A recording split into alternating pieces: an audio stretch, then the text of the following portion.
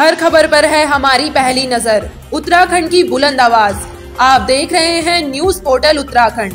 उत्तराखंड की hot seat कहलाने वाली हल्द्वानी, जिसे हर कोई उम्मीदवार जीतने की चाह रखकर हाईकमान को अपनी दावेदारी पेश करता है। फिर चाहे वह कांग्रेस हो, भाजपा हो, समाजवादी पार्टी हो या कोई भी राजनीतिक पार्टी, हर कोई हल्द्वानी सीट को लेकर अपनी दावेदारी पेश कर रहे हैं। वहीं भाजपा की ओर से वरिष्ठ भाजपा नेता हरीश पांडे ने भी अपनी दावेदारी पेश कर दी है। पत्रकार वार्ता के दौरान उन्होंने बताया कि लगातार पिछले 25 सालों से मैं भाजपा की निस्वार्थ सेवा करता रहा हूँ। और कई संगठनों का अध्यक्ष भी हूँ। साथ ही उनका कहना है कि हल्द्वानी की जनता ने मुझे हल्द्वानी से अपनी दावेदारी पेश करने को कहा है। इसलिए मैंने जनता की मांग पर भारतीय जनता पार्टी से हल्द्वानी विधानसभा सीट के लिए प्रदेश अध्यक्ष को अपनी दावेदारी पेश की है। मैं हल्द्वानी का निवासी हूँ और पिछले कई सालों से हल्द्वानी विधानसभा में लोगों की सेवा करता रहा हूँ। मेरी भी मंशा है की अब हाईकमान मुझे भी मेरी योग्यता के अनुसार मेरे ऊपर दायित्व दे।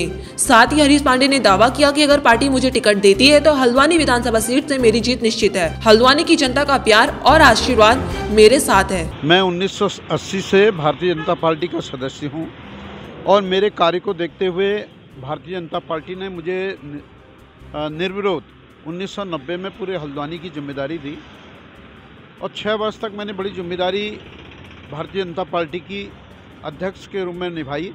उसके बाद मुझे पूरे उत्तराखंड का, स्थानीय निकाय प्रकोष्ठ का, प्रदेश का उपाध्यक्ष बनाया गया और उसके बाद मुझे पूरे प्रदेश का, स्थानीय निकाय का, प्रदेश महामंत्री बनाया गया और मैंने पूरे उत्तराखंड का, स्थानीय निकाय को मज़बूत करने में समय दिया।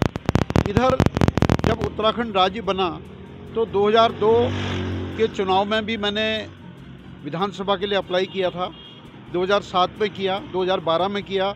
अभी जो लेटेस्ट अभी विधानसभा को पाँच वर्ष पूरे होने जा रहे हैं, हमारी सरकार को पाँच वर्ष पूरे होने जा रहे हैं तो इसमें भी क्या हुआ कि मेरी जब वरिष्ठ नेताओं से बात हुई तो उन्होंने कहा कि आपने बहुत त्याग किया है, मेरी कार्यकर्ताओं से बात हुई तो सामाजिक क्षेत्र के लोगों से बात हुई तो उन्होंने कहा, आपको इस 2022 के चुनाव में अपनी विधानसभा के लिए अपनी बात रखनी चाहिए और आप जीत सकते हैं, क्योंकि आपने हल्द्वानी शहर के बहुत से सामाजिक संगठनों को अपना समय दिया है और आपकी छवि अच्छी है। आप सुख दुख में हर व्यक्ति के काम आते हैं। तो मेरा भी मन बना कि मैं इस बार 2022 के लिए अपना विधानसभा के लिए प्रयास करूँ। हर खबर पर है हमारी पहली नज़र। उत्तराखंड की बुलंद आवाज़।